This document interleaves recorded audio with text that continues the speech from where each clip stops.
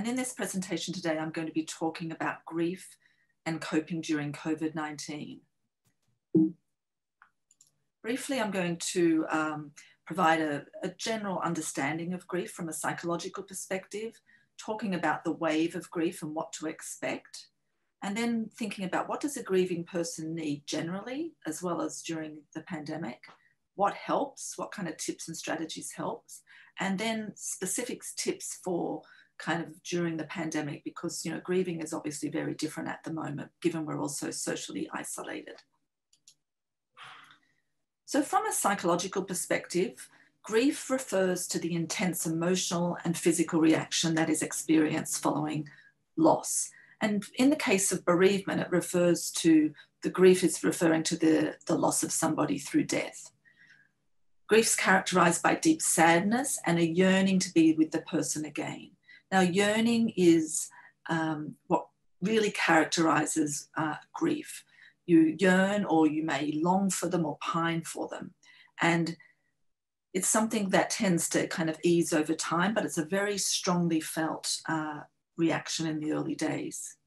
Grief is unique. Even if you have several family members grieving the same person, each person is going to have uh, their own individual reaction to the loss.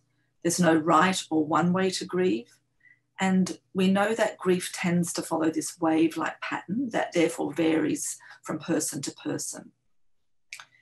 And we, we kind of think that the central factors in grief, in understanding the experience, are loss, the loss or the death of the person, change, how much does life, someone's life change after a person dies, and then control. We often feel like our world's been turned upside down when somebody you love dies. And following a death, especially of a significant person, whether it's a spouse or a parent, a child, someone really close to you, not only do you lose that person from your life, you lose the many other things that they represented. So, for example, in say a spouse relationship you if the one person dies they may be the person who usually you know did the taxes every year or with a social director so you lose lots of lots of different things and they each have to be kind of reconciled in some way and we think of it as a you know as i said i'm a psychologist. So from a psychological perspective we think about grief as a process of adjustment. Over time people adjust to the physical absence of their loved one.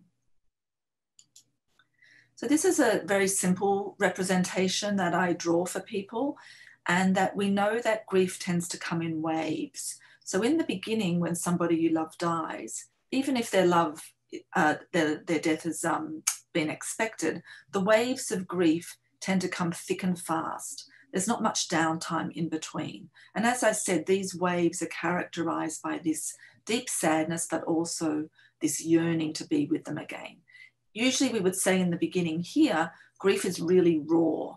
And then as time goes on, the waves tend to lessen in frequency and intensity. And if I could draw it back up again here, I would draw the wave getting a little larger again back when you get closer to the first anniversary. It's very common for people to say, this time last year we were doing this, or this time last year we were doing that. What we think though is that grief tends to be less raw as uh, you get further along. And you'll see that I have drawn these dotted wave, which I've called a trigger wave. You know, some people call them different things, spikes or um, kind of larger waves. And you could imagine this wave would have a lot of those other waves, those trigger waves, and they can be corresponding to dates you can anticipate that you think are going to be difficult, such as somebody's birthday or an anniversary the holidays coming up, for example, Thanksgiving is something that people are, you know, starting to prepare for if their loved ones have recently just died, where they may anticipate that it's going to be a, a much harder day. And then there can be other waves, trigger waves that you don't anticipate, such as hearing a song on the radio that reminds you of your loved one, or you know, running into somebody who hasn't yet heard the news and you've got to tell them. What we also know though, before this wave of grief, if you could imagine back here to the left, is what I call the roller coaster of the illness trajectory. So if somebody has had a serious illness such as cancer, um, their loved one, with their loved one, they've been kind of on this roller coaster following their treatment where they kind of may have their hopes up and then, you know, things don't go as well. And that's this kind of constant roller coaster.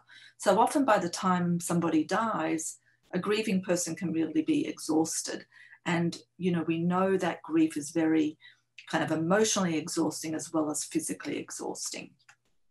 But it's just useful to think of it being a wave like pattern because everyone's wave is going to look different.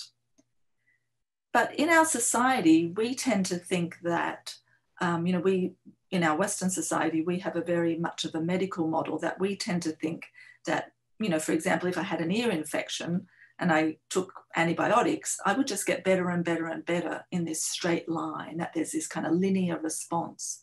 But, you know, this is a common model so that we would think, gee, that over time, I'm just getting better in this very predictable way. This, as I said, is a very kind of accurate model for, you know, like a common cold or an ear infection, but it's not a good model for bereavement or for grief. Rather, this wave-like pattern is a much more accurate, uh, accurate expectation of what progress is going to look like. And often people, when they're, you know, thinking about this model, they might come when I meet someone for the first time, even if it's months after the death of somebody, they may say, gee, I thought I would be doing better by now. And it may be like three or four months after somebody's died. And it's as if they're assuming that their grief is just getting uh, better and better each day, whereas maybe three or four months later corresponds to a wedding anniversary or to the holidays coming up. So it's much better to think about it as that wave like pattern. And this is a kind of a, a, diagram that I also draw for people, especially in some of the support groups that I run, is that it's a helpful way of thinking. We can't fix anybody when somebody's loved one has died. And when, when the death is very recent, the loss seems really large and their life is kind of this kind of consumed by the loss. Whereas what we're hoping happens over time and what, you know, bereavement support and just, you know, being supported by loved ones is that eventually you go so that you you kind of regain control back over your life again and you integrate the loss into your life. And so the loss is always there, but it changes, it changes shape. And when we think about bereavement support, we're thinking about what happens in the, where the black arrow is. What do we do there that helps somebody kind of uh, progress so that that wave does lessen over time? And so I'm going to talk a little bit about some of the things that can be helpful when people are grieving. So, what a grieving person needs, um, and this is generally speaking, people need after someone dies, you know, most people anyway, need to be able to tell their story, often over and over and over again. Because when we start to talk about what's happened, we kind of start to make sense of it in some way. They need to be able to express their thoughts and their feelings. They might have lots of questions, you know, what if this had happened, or if only that had happened? Um, feelings can range from feeling really sad one minute to having moments of, you know, happiness when you think back on a, a happy time, or there may be feelings of guilt or regret. Um, and again, obviously, you know, deep sadness. Grieving people also need information about grief and what to expect because for many people, they may not have suffered a significant loss before. And so it can feel like they're kind of in uncharted territory.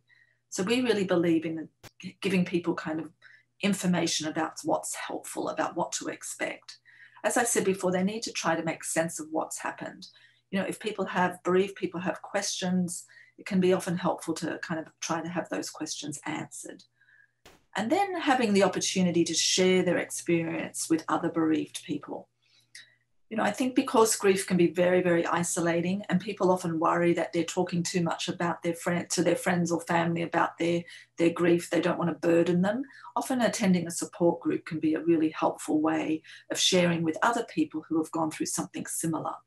And so, at Dana Farber, for for bereaved family members of our uh, patients who have died at Dana Farber, you know, we offer support groups, and they can be support groups based on, you know, for spouses or partners or for people who have lost their parents. So being able to share that experience can help people feel less isolated. And as I'll talk about in a minute, that isolation that is normal with grief is even more magnified at this time during the pandemic, given that everybody is kind of socially distant and, and even you know physically isolated. So given that I said grief is something after someone you love dies, we can't fix it. But what, what helps? Because we want that wave over time to lessen in intensity and frequency. So the things that help are having a routine, and this can be a really simple routine in the beginning, and you can build on it as time goes on. Having realistic expectations of progress. Like I said, that grief follows a wave, it's not that straight line. Doing things to increase your sense of control over your grief, such as, you know, running a to do list. Usually, when someone you love dies, there's a lot of administrative details that have to be attended to that can be very overwhelming. And so, I always encourage people run a list, um, even and even if you only check off one or two things a day, you may be someone who normally gets you know 50 things done a day. You may have to lower your expectations about what you can actually do, but it might just be making that phone call to the bank or speaking to the lawyer. Um, but having a to-do list helps you feel a, little bit more in, in control, which is, is again very important. Connecting socially with friends and family uh, even if you don't feel like it, uh, can really help in those early days. And then accepting invitations from others to do things.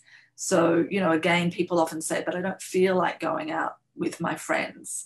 Um, you know, and I would encourage people, if they're people who normally, you know, you enjoy their company, I would try to go, um, but always have an exit strategy. You know, you may only want to stay for 30 minutes or stay for an hour. So often having that exit strategy where you can drive yourself or you tell the the host, you know, I, I probably will just stay uh, for a little while and then I'm going to leave. You know, just so that you feel again, it's all about having a bit more control over what you're experiencing. And again, as I said, these things are harder at the moment, and we'll talk a little bit about that in a minute. So, as I said, not waiting to feel like doing something. It's like the old saying people used to say about starting an exercise program at the gym. If people waited till they felt like going to the gym, they probably wouldn't go. So you have to just say, I'm going to, to do these things that I normally would enjoy. And then because grief is so stressful, practicing good self care. Now, that sounds like a huge umbrella term, which it is, but I encourage people to, to kind of find things that you normally would enjoy that kind of recharge your batteries you know, they may be hobbies um, or interests, things that you'd put on the back burner when your loved one was sick and you were caring for them. Um, exercise, of course, it doesn't have to be strenuous exercise, but just moving, you know, getting outside each day and going for a walk. And then also catching up on medical appointments. I think we see that a lot of Dana-Farber. If people have been caring for their loved one, um, that's been like their job, that they've put their own needs uh, on the back burner and they may have you know just basic medical appointments to catch up on. So this is about these are all the kind of components of practicing good self-care. And you know going back to the fact that grief can be so physically stressful you know most people think grief is emotionally stressful but they don't realize that grief is really also very physically stressful. So i encourage every bereaved person I see to check in with their local PCP. You know, they know what your history is, they can check your blood pressure and they can make sure any other kind of uh, issues you're dealing with, you know, are managed. So, and it's also just good for your primary care to know what's happened so that they are another layer of support. And then it's also particularly important to seek professional help if you feel stuck for some time, or that if you feel that things are getting harder and you, you know, you're not just feeling like you can re-engage in life. This can be getting a referral from your PCP, um, you know, seeing a counsellor, something like that. And you know, challenging any unhelpful thoughts. That's that's always important, and that can be something like, um, you know, I should be feeling better than I'm feeling. You know, you know, people always have these expectations that they should, that should word, should be getting better and better and better. So, you know, maybe just checking your thinking. And sometimes people kind of are very hard on themselves with feelings of regret about what they wish they should have or could have done while their loved one was alive. Sometimes it can be really helpful then to talk to a counsellor if you feel that those thoughts are lingering for a long time. Going back to kind of building a support network, the more people you have kind of on your team, I think the better. So building a support network, including, you know, family, friends, um, participants you meet in the support group, and then, you know, as I said, a counsellor for some of those, for some of you who may feel that you would benefit from that. I'm a big believer in reaching out for support. Nobody should have to worry alone. And that gets back to how isolating grief can be. So, you know, call somebody um, if you are feeling uh, lonely and isolated uh, often people you know don't want to call people because they feel like they're burdening people but you know, try to imagine if the shoe was on the other foot. Would you mind if a friend called you? So reaching out to somebody you know who could uh, be a good uh, support for you. And then I think, you know, particularly around first, like those firsts on the wave I was talking about, such as Thanksgiving. And I think now with the thank- with Thanksgiving and the holidays coming up, if this is your first uh, year without your loved one, it's really helpful to make a plan and think about uh, Thanksgiving or other holidays and, you know, talk to other members in your family about creating maybe a new tradition. Maybe the first year you do something a little different, you want to mix it up. You can always revisit it for the second year. And then memorial activities. Uh, you know, people often benefit from creating, you know, if it's a celebration of somebody's life or supporting a cause in someone's memory, having something uh, that allows people to come back together to, to reminisce and talk about the person who has died. So now that was kind of like the general overview about bereavement. And obviously, we know that through the pandemic, if somebody you love has died during this time, whether or not they died from COVID or not, grieving during the pandemic is especially difficult because the things that I said help, are helpful normally are harder to access at the moment because everybody is uh, kind of at home, people are working remotely, you're not seeing people in the same way that you normally would uh, and that can be challenging. So we have a tip sheet on the Dana-Farber website that you can go back to for more information about this. But just to kind of go over the main points, I think it's really important that we have to acknowledge that we're in a different time. Um, the pandemic has, you know, created a lot of other losses for all of us as well, not just kind of through the death of loved ones. People have lost their routines, their jobs, the rhythm of their day. Children aren't going to school uh, in the same way. People aren't able to, you know, have high school graduations like they were, or weddings and, and funerals. And we know obviously funerals have been greatly impacted, certainly early in the pandemic. So we are in a different time. And for everybody, this has kind of upended our sense of control. It's been challenged at all levels. And we know that when someone's diagnosed with a serious illness and then they die, you know, the bereaved, your level of control is already kind of challenged and now it's kind of magnified with, with the pandemic. Routines and rituals that normally bring comfort to grieving people aren't readily accessible. You know, earlier on in the pandemic, we knew that, you know, funerals were very much limited. People couldn't, you know, have 10 people or less. And people wouldn't be stopping in to check on loved ones in the same way because of going into people's homes. So that sense of isolation was really, really magnified. Self care, I think, you know, we have to um, try to do different things. And even though, you know, I'm sure people are sick of kind of being online, but trying online classes can really help. Um, getting outside and walking, as we said, even if it's, you know, and as I think the winter approaches, we do need to think about kind of tips for coping for during the winter, which may mean getting outside at 12 o'clock every day limiting media exposure because hearing about everything to do with the pandemic can be overwhelming. Um, reaching out for support virtually, you know, um, whether that's with friends or calling some kind of hotline if you were feeling like you needed to talk to somebody and you didn't want to talk to a family friend or friend. And then adapt rituals. You know, I think there are lots, people are getting better at creating new rituals, but maybe you have a virtual celebration of life of somebody uh, or a get together at their birthday um, and plan for something later on when things hopefully return to some kind of normalcy. And so planning for post COVID 19, and we clearly don't know when that is, but you know, maybe if you have questions to do with your, you know, your loved one's um, death, you might drop those questions down that you can, you know, maybe contact the medical team at a later date. Plan a memorial event if you weren't able to have one during the pandemic you might think, gee, we, we might have something small now, but maybe next year around somebody's birthday or the, you know, a wedding anniversary or whatever it may be, you may have something uh, that celebrates their life.